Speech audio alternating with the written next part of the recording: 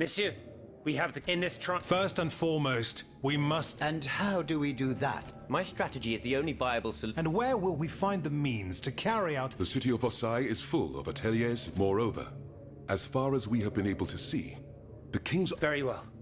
Now, regaining control. Mais ensuite, once peace has been restored. This is indeed a crucial issue.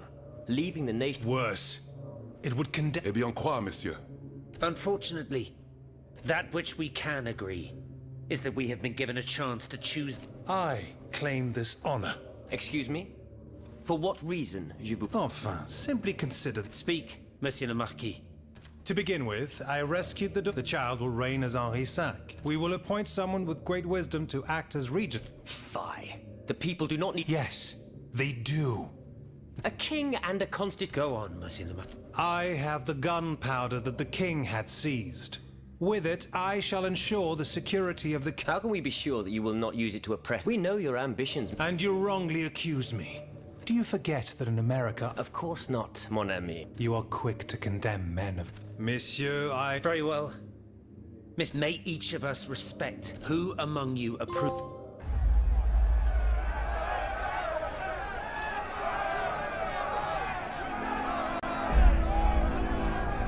The court bows before the Marquis de Lafayette, Lieutenant Général du Royaume.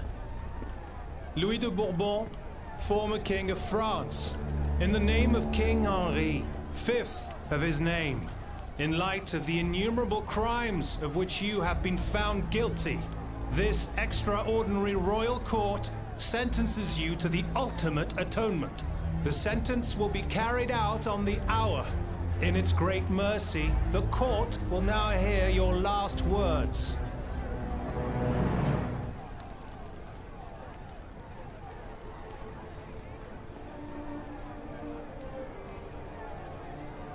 My loyal subjects, since you must lead a lamb to the altar, since you must offer a sacrifice to this new France that you intend to found, I will be that sacrifice.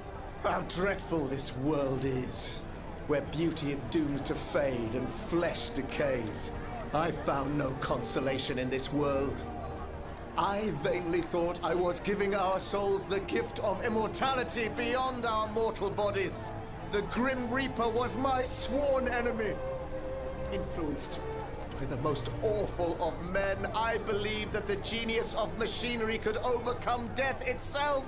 Alas, I have lost this fight, and am branded with the mark of murderer. Life, even more than the crown, was heavy for me to bear. I have suffered too long under the thumb of nature, which I despised. As a child, I saw my older brother die. I lost my father in the prime of his life, and then my mother, who was even younger. My beloved daughter did not live a year. As for my son, the first of my heirs, I unknowingly gave him to drink from a poisoned cup. I mourn the death of these poor souls daily. My death will not unite us, of this I am certain. For I, in my misery, have lost the support of my faith. So, executioner, lay me down on this board, Vatu. I will sleep now. Sleep at last, and not to dream.